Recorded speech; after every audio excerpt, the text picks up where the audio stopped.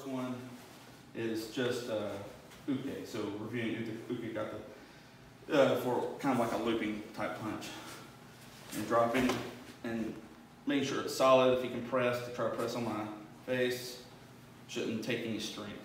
So one, two, three, so on and so forth. Mind the angle. The angle in your range is what's important. Um, you know, not moving straight back. But the drill is you and your partner get one side of the line. It'd probably be easiest to everybody to start on the same side so you don't eventually, eventually we're gonna cross the streams. But I'm coming at him, right? Okay, and work down the line, come back. It's more of this type of flowing and opening them up? Just using the form. Okay.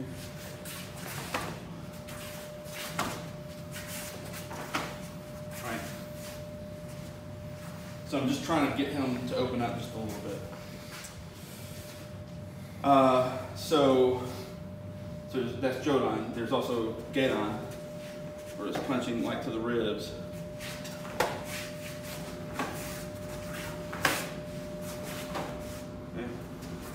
Um, but also Ura the Motes. Right, that's fine. Either one's fine. And that's the thing is, that's why the distance and angle is so important. This is not about blocking. Uke is about blocking and not getting hit. This is about creating openings. So if I miss or misjudge, I'm okay. So,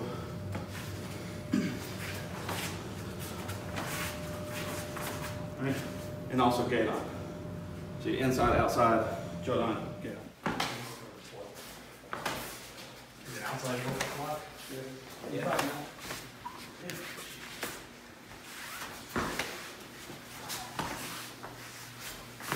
Back to mine.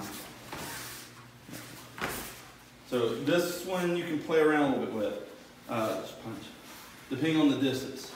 If I end up going in kind of shallow, then it's like jockeying. I'm a little bit further, then maybe hoshi. I'm a little bit further, than kote. Right? If I'm real close, it goes up to here. Right? So you can play with distance, um, but daken uke is now your your block as a strike. So we've got the same thing, uh, Jodan to the inside, Jodan to the outside, Gedan to the inside, Gedan to the outside. But you're picking points. If you go to the outside, right, then you've got Hoshi, it's like near the elbow, not on the elbow, you might break your hand, but actually there, or hitting the back of the hand. Uh, if it's Gedan to the outside, you can sometimes get like a, well, I guess this would be like a Chudan, get Nagare. Or like Heron Fist his wrist or his hand, or like here. Um, questions? So you pick the points, like hit the points with a point. Right? Don't just kind of like when you think, oh, punch him in the face, really you should think punch him like on Jinju or punch him on Hatome. Right? Don't just kind of aim. You try to hit a, a weak point. Uh, so Daken uke, inside Jodan, outside Jodan, inside Gedan, outside Gedan. Remember to return to command. Right? Because that sets up any other guards on the Okay, the third one comes. If I take one step, he's going to run me over. It's about the angle and the distance, not about one step. So if I have to do this to get my distance, that's fine. It's about the angle and the distance, not about do it once, twice, one step at a time. I'll run out of room. Right? Because you have to adjust depending on your opponent. If he's taller and he's got more reach, then you're going to have to move more. But the angle is still the same. And you move however you need to move to the appropriate distance. One is have to parry. And all it is is enough, like punch. And just enough to move it. What I don't want to see is this. And trying to keep contact. Usually people end up twisting their body, so it's- just enough, once more. It's just enough that he doesn't hit me. And then this lets go. Right? So, so first one is going back.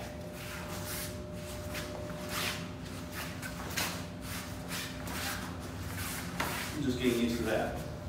Uh, back outside, back inside. If you go to the inside and back, you have to add a little extra. Check that backhand. Right.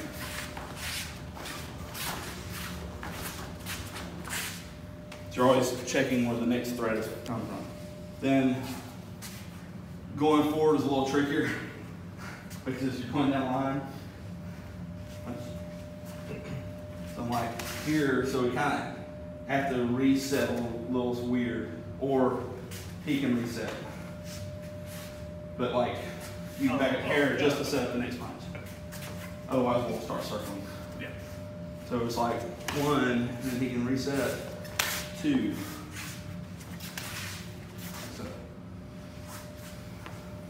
So you're kind of going forward, but then you reset to step back so that you can practice parrying and moving forward.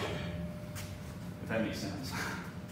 And then the same thing, like uh, if you move forward to the inside, which is risky because here I'm really close to this danger. You still have to guard that. So check that hand.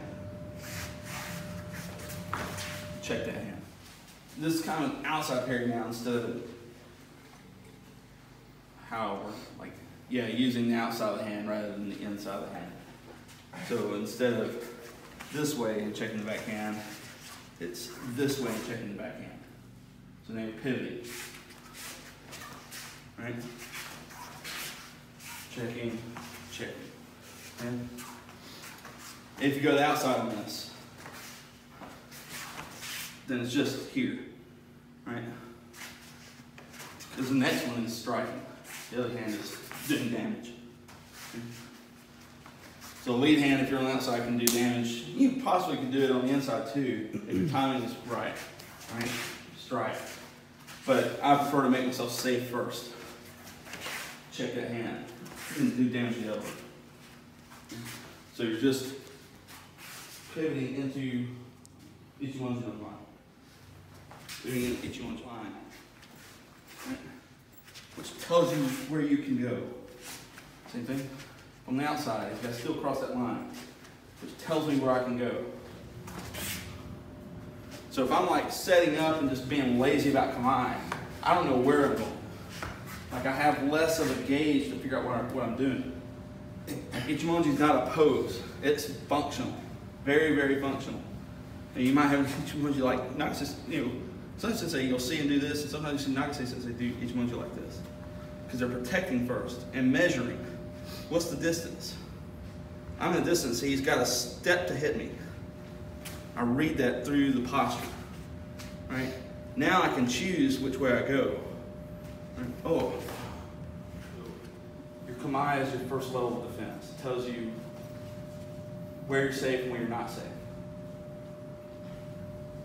Then, if you need, if you use your feet to move your body out of the way, and your hands, are your insurance policy. So, Kamae is keeping your eyes on the road. Aishibaki, Taisabaki helps you not get into a wreck. And then hands are there in case you do get into a wreck, you've got insurance. Right? So the hands are really just in case. They're not meant really, your, your, your goal is not necessarily to stop whatever the attack is. The hands are, you know, just in case you screwed up. Maybe you misread, or maybe the person's drunk and can't throw a straight punch. Like he can't throw where he thinks he's going to throw. Or maybe he goes to punch and he's, you know, like, like say he's aiming for your head, but he's drunk. So he's already uncoordinated, and if you didn't move, he would have missed. But because you don't know that, you have to move. But maybe you move right into where he's going to hit you because he couldn't throw a decent punch to begin with. Does that make sense? And so your hands are there just in case.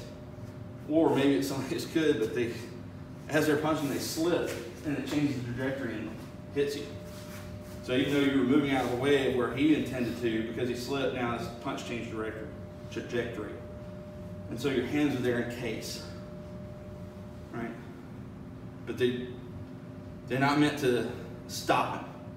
Like they're meant to get information, check things, to stop the next attack, or to open something up so that you can counter. So like when people miss if you miss your target when you're striking, it will tire you out more than if you hit it and more than if they blocked it. Because then you've got the energy to rebound. Like you miss, it's like you have to pull it back on your own. Like it's more tiring to miss. Yeah. So, uh, so the hands are just instruments. So you've got to think in terms of, first in terms of doing these type of things without your hands at all, right? Then you add the hands because like I don't trust myself to like do punches to do the as soon as I say thing and just like let it drift past me and count. I'm not that good. I don't trust myself to do that. I don't trust him to punch straight enough either, right? So, like, that's why this is there. Not really stopping much of anything unless I had to. But this makes this confirms to my body I didn't get hit. So it's like neurological information. I didn't get hit, so I'm good. Right? Uh, so continue pairing with that with outside hand, checking the front hand, or pairing and getting ready to cause damage. Couldn't take the distance or you didn't have room to angle, right? And if you don't do anything, you're to get hit. So this is good against, really against like power shots. So like a cross or a, or a hook. So we're here, maybe throws a cross, and you cover up here. And if you're lucky, maybe he'll punch your elbow and break his hand. or if he like loops one and the other hand is guarding too, because you know there's another threat, or I get a chance to counter. But the idea is like grab the back of your head, so you got like the center line here, right? And try to bring your elbow to that kind of center line. That way you can still see him. Your other hand is ready. Most people, the most common thing I see people do that's for this is they go here. I'm talking, if you close the outside eye, I can't see him anymore. That's a good test for this. Because if I do this and he throws a cross, he's still going to punch me. Now do it? Yeah. So cut your face in half. Your forearm is trying to protect the temple, the shoulders, protecting the side of the neck, and, jaw, and you, you kind of weld your arm and your head together. So if he has a strong hit, like it, it's less concussive, so I don't get that whiplash motion and rattle my brain. Uh, so for the drill, just to practice reps, uh, I'll do it with open hand. I'll come in, big looping thing, and I'm to give him some pressure, right? These steps. I'm trying to give him, he's not to go forward, so he can feel that. So yeah. Okay. So this is when you can't get away. Like for the uke, just for safety's sake, keep open hands. But you can choose which type of punch you throw. And uh, Tori can choose which kind of defense he uses. Does he want to parry? Does he want to do daken uke? Does he want to just do uke? So it's free. But the same concept is sen no undo, where, okay, I'm gonna give you this attack. And you, do you remember to not just go, ah? Or do you use Jonuke or this thing? What names have you heard this thing called? I've heard rhino block. I've also heard like carriage block or something like that. Vertical Yes. elbow shield. Yeah, there, there's like 50 different names, but the easiest way to remember it is just hey, comb through your hair. Okay. That's it. There's a problem for some of us. Me too, I know. Yeah. But it's just like, Yeah. So, uh, yeah, so it's, it's free choice. Hey, your posture. How do you position yourself tactically? And there's various ways to do it. Uh, so, there's any guesses on the second line of defense?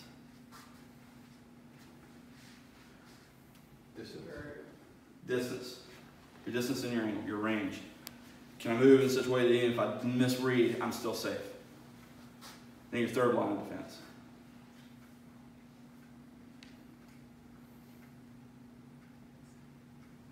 Hands.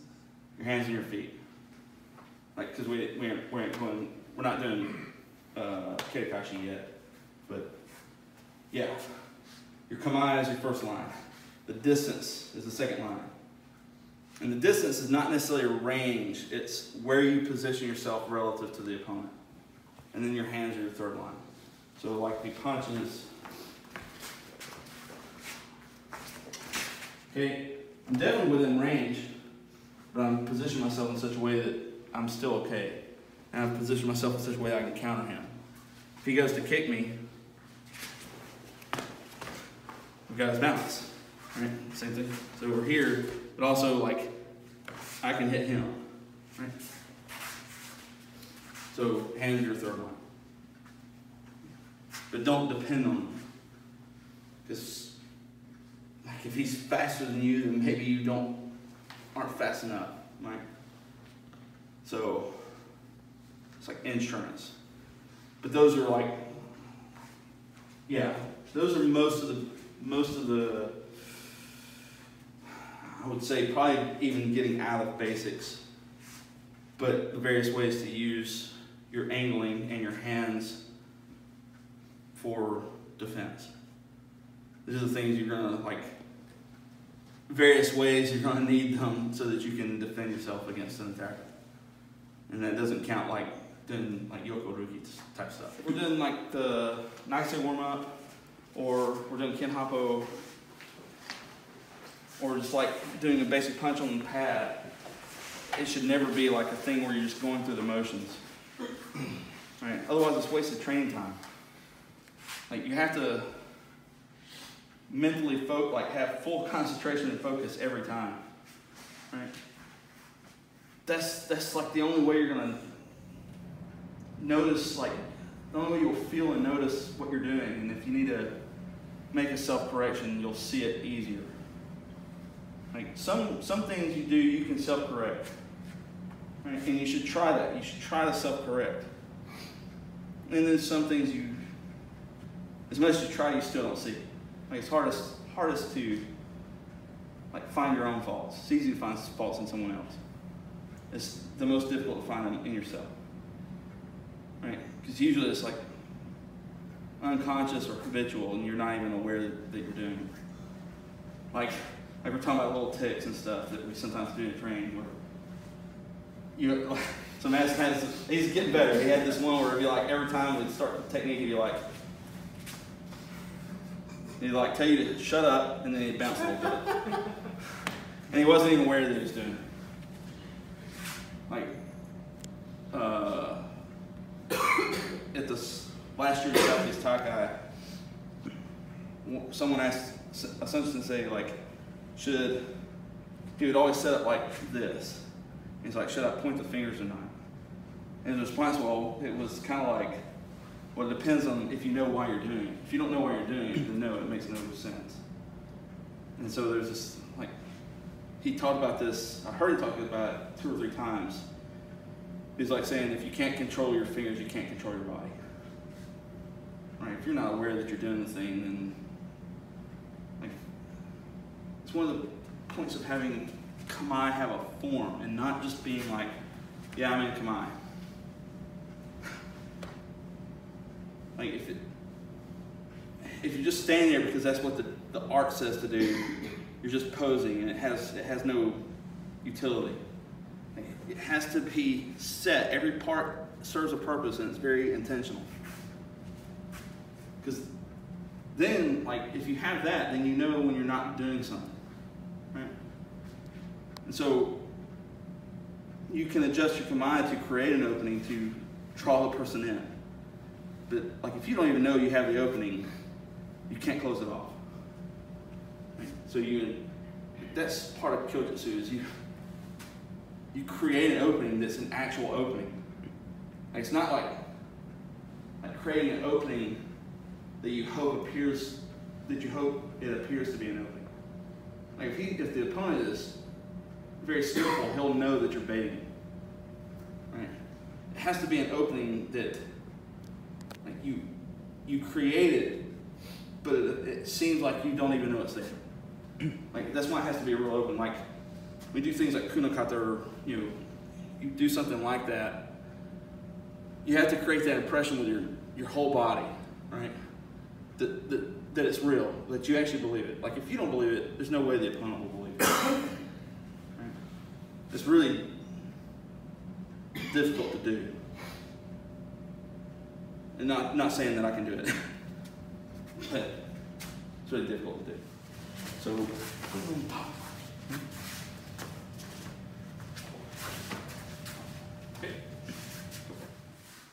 It's not this.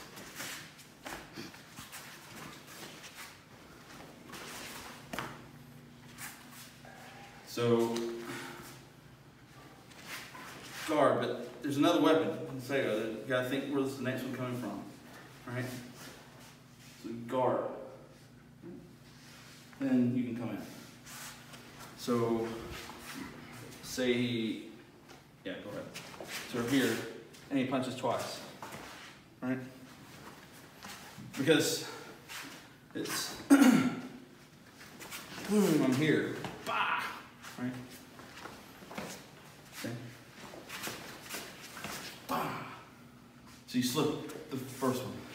I'm sorry, the second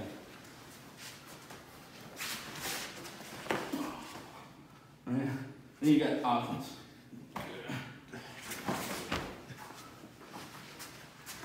So guard yourself as you come back in.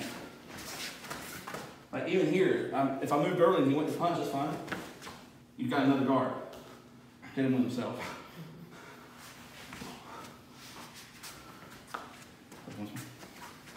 So check. Slip. You've got a guard. Then how you hit can change. If you want to do like the warm up, right? Or you can just step. If you're close, yeah. bah, see with the elbow. Okay, go hit the one. You just slip.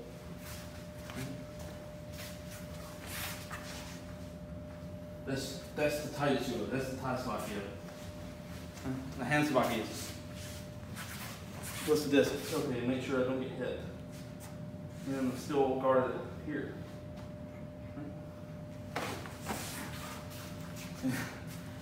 So, kind of connected to what we did earlier.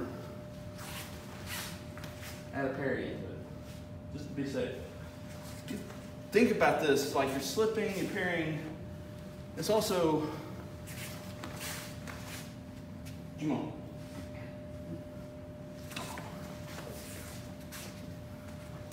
So if you're having trouble like figuring out how to twist, something that might help is you parry that. And it's not a heavy parry. It's really just where's his fist? Okay, make sure I don't be in the same spot. It's really a light touch.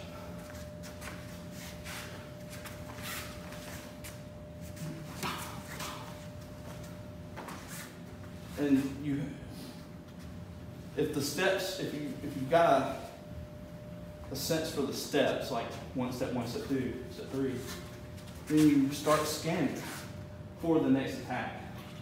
So the first punch comes. I'm kind of scanning here. The second one comes. Uh, now i'm scanning here. Right? But then you get a chance like where he doesn't really have many options